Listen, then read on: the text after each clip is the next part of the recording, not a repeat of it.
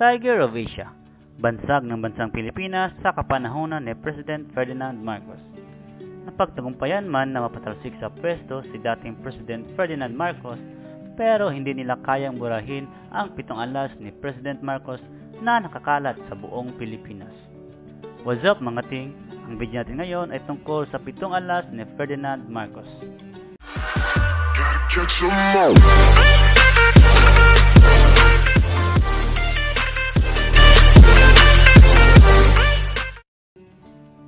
Ikapito sa ating listahan ay ang South Luzon Expressway noong 1970. Ito ay may sukat na 60 kilometers at kauna-unahan sa Southeast Asia.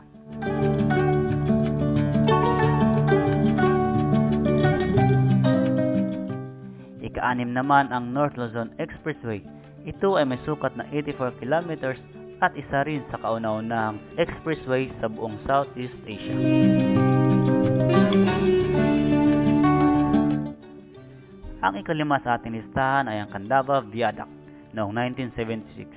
May haba itong 5 kilometers at kauna-unahang mahabang tulay sa buong Southeast Asia.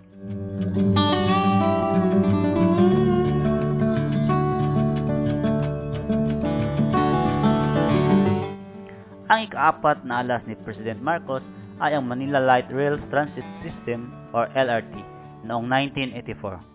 Ang ambisyosong train system na ito ay kauna-unahan sa buong Southeast Asia. Ikatatlong alas ni President Marcos ay ang Kalawit Island Safari Park na binuksan noong 1976.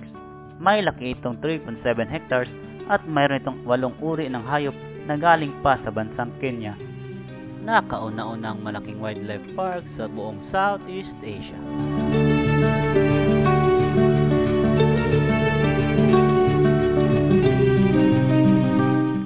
Pangalawang alas ni President Marcos ay ang Bataan Nuclear Power Plant na nagkakahalaga ng 2.3 billion dollars.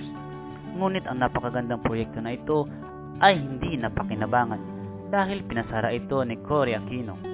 Ngunit hindi may kakaila na isa itong tatak Marcos na kauna-unang agresibong hakbang sa buong Southeast Asia.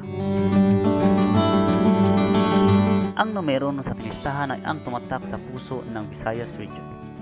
Natatak Marcos ay ang Leyte Geothermal Power Plant noong 1977. Isang napaka-agresibong proyekto na pinakamura at hindi nakakasira sa kalikasan na nakakabenepisyo sa mga mamamayan. Kauna-unahan itong geothermal power plant sa buong Southeast Asia.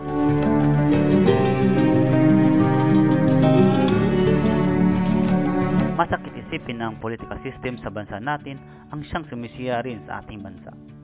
Isang patunay na riyan ay ang mga proyekto ng dating President Marcos na binaliwala ng sumunod na administrasyon na alam natin na mapakikinabangan sana ng mga taong bayan. Kung nagustuhan mo ang video natin ting, ay give a like at kung hanap mo ay mga kwentong makabuluhan, ay mag-subscribe na. Salamat! Gotta catch.